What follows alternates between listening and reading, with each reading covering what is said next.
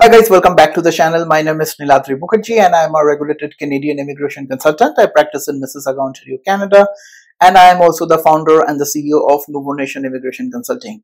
So if your visit visa application is rejected, got rejected, make sure you do not jump on the reapplication process immediately. If you have seen the rejection letter, recent past IRCC have changed the rejection letter a little bit, tweaked the rejection letter a little bit if you will and they have quite, quite categorically mentioned that do not reapply unless and until your situation has changed. So your situation is obviously your unique situation which you have displayed at the time of your previous application. A case in point, if the IRCC has said that, well, they do not believe that based on your financial situation, you are able to make a trip to Canada, do not jump onto the reapplication process without changing the financial situation drastically. And obviously, this really does not mean that you will get tons and tons of money from here and there and put it onto your account. It may be calling for a tweaking of your account. A case in point will be, for example, if you are somebody that believes in saving or investing so if you believe in putting more and more amount of money on the fixed deposit and less and comparatively less amount of money on your checking or savings account make sure you change that you know change that proportion a little bit. Do the tweaking for a few months at least three to four months. Try to put more amount of money in your bank account and maybe a little less on your investments and then see how the account looks like and then only go for a reapplication.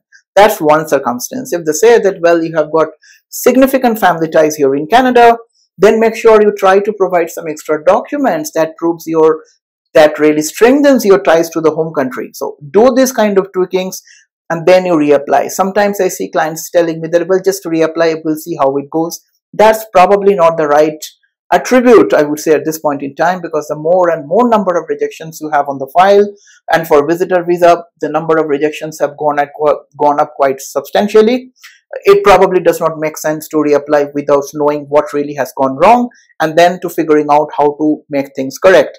Ideally you should wait for GCMS notes to see the office's note and then reapply.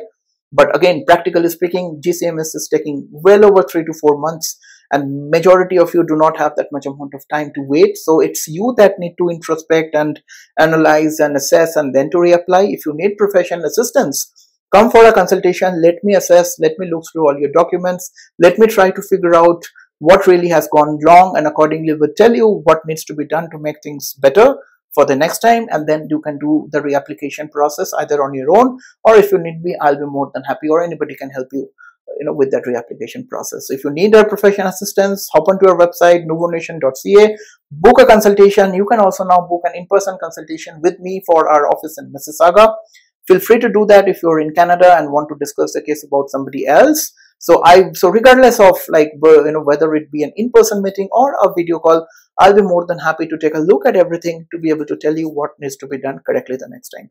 Hope this helps guys. See you guys in the next one. Bye now